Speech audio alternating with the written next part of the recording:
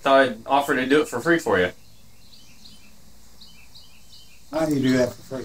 Because I'm able to make a video out of it. I, I guess I'm just skeptical of anything that's free. Nothing. Yeah, I get that a lot. You're not gonna owe me anything, I promise you. Okay. Hey everyone, this is Spencer with SB Pressure Washing, and I saw this super dirty driveway and knew I had to knock on the door. I offered to clean it up completely free for the homeowner in exchange for taking a video, and he told me he was just really skeptical with my request. We spoke for a while after that, and he ended up letting me do the work. Afterwards, he was so happy with the work and asked if I could do his back patio as well. So I got that cleaned up, and he was stunned at the transformation.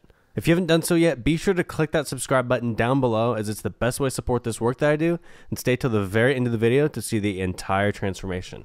Hope you enjoy this one and I'll see you guys next time.